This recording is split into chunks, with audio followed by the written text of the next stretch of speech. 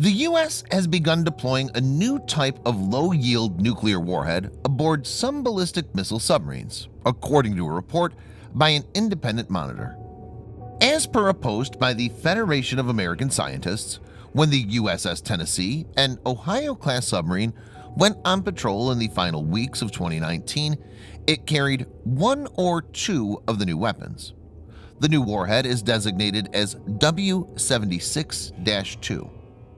As per some reports, USS Tennessee, which left port in Georgia at the end of 2019, is the first submarine to go on patrol armed with the W-76-2 warhead. The Ohio-class sub is thought to be currently patrolling the Atlantic Ocean. Hans Kristensen, director of the group's Nuclear Information Project, stated, It's apparently still out there now and expected to come back sometime in February. He believes a second submarine carrying the weapon may also be patrolling in the Pacific.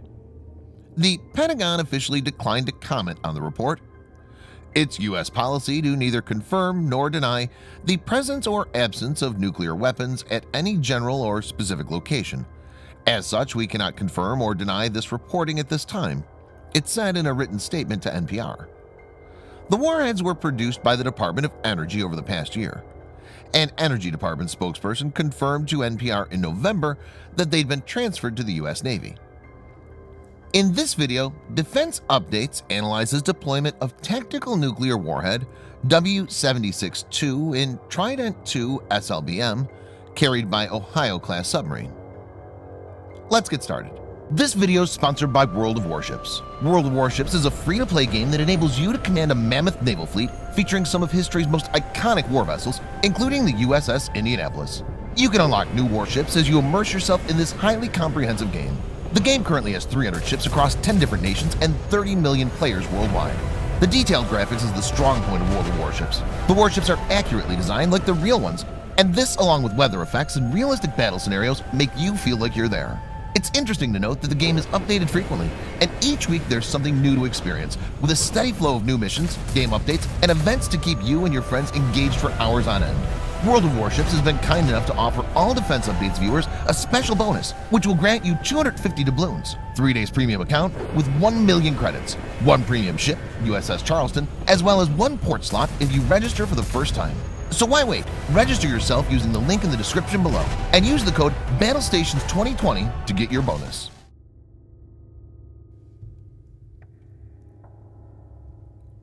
The Ohio class is a class of nuclear-powered submarines considered to be one of the most lethal platforms in the world.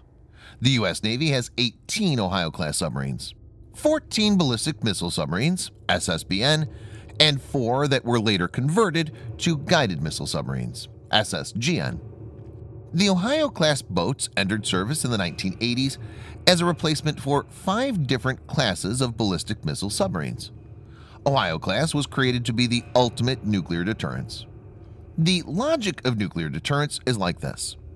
While a first strike might wipe out a country's land-based missiles and nuclear bombs, it's very difficult to track a ballistic missile submarine patrolling quietly in the depths of the ocean, and it's almost impossible to take them all out in the first strike. So ballistic missile submarines deter any enemy from launching a preemptive first strike. The Ohio-class submarines are the largest submarines ever built for the U.S. Navy, having a displacement of 16,764 tons.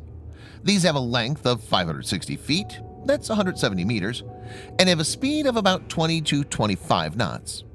Being nuclear powered, it has unlimited range and endurance, limited only by food supplies.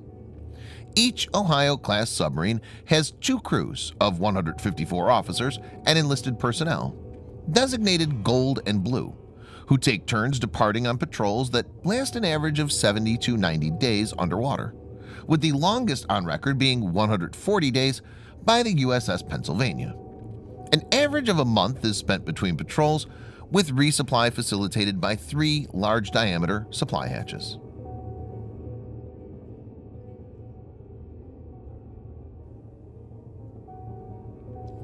Trident II was designed to be more advanced than its predecessor, Trident I. Trident II was put into service in 1990. It has a greater range and payload capacity compared to Trident I.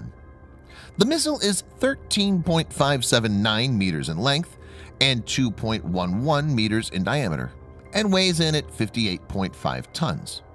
It's a three-stage rocket, each stage containing a solid fuel rocket motor. It's thought to have an accuracy of 90 meters CEP.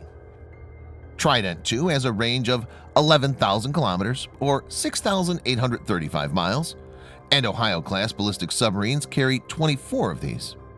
Trident II is a multiple independently targetable re-entry vehicle MIRV missile. Each Trident II can carry up to 14 W-88 475 kiloton warheads or 14 W-76-1 100 kiloton warheads.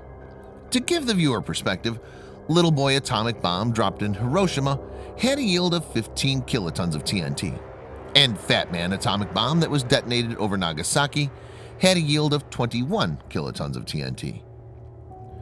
New START Strategic Arms Reduction Treaty between the United States and the Russian Federation agreed to having only eight warheads per missile. So currently, each Trident II is armed with eight warheads.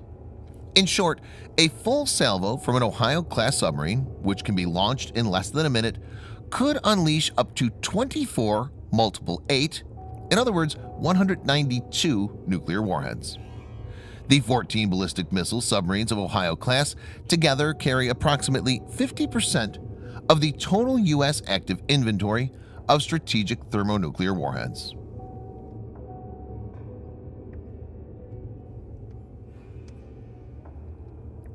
The new W-76-2 warhead seems to be a variant of the W-76-1 warhead.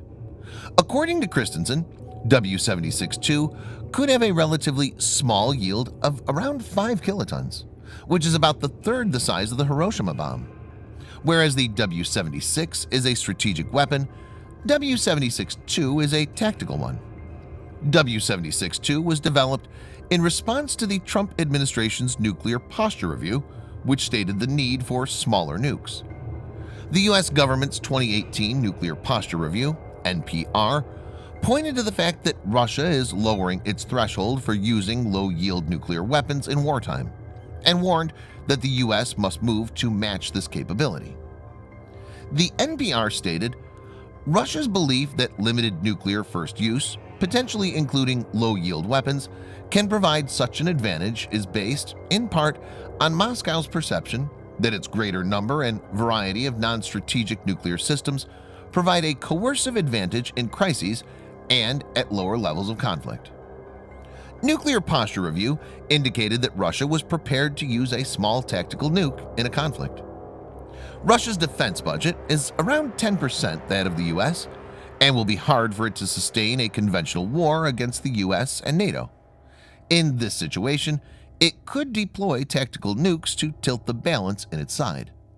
Since the US didn't have tactical nukes, it couldn't have responded to such a move by Russia, and using strategic nukes would escalate a regional conflict to full-scale nuclear war.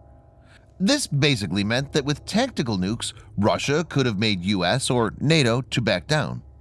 This is where the new American warhead will be useful.